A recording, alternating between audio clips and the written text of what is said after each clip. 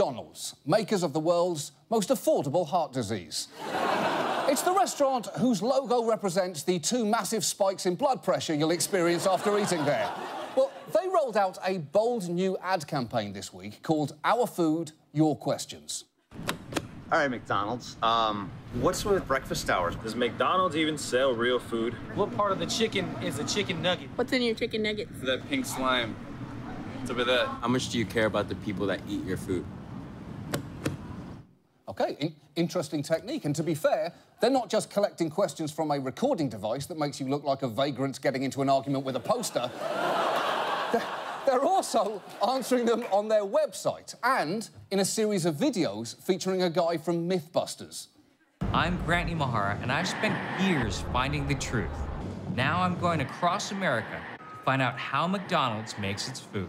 So ask your questions, and I'll find the answers.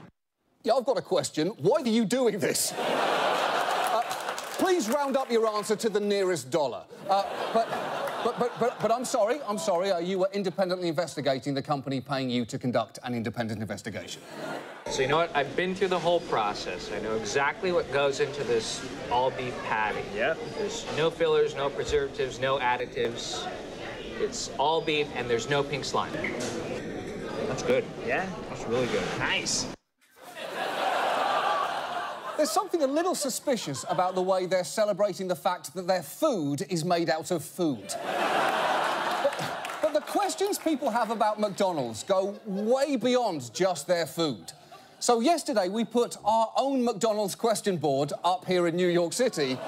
Here are some of the results. Hello? McDonald's? What's up, McDonald's? What's up, Mickey D's? How the fuck does this pay stub for a single mother who's worked at a Chicago McDonald's for seven years show that her take-home pay for what, more than 40 hours of work is only $292.52? Is there somebody in there? Hello? Why is my face like this? Hello? Am I a serial killer?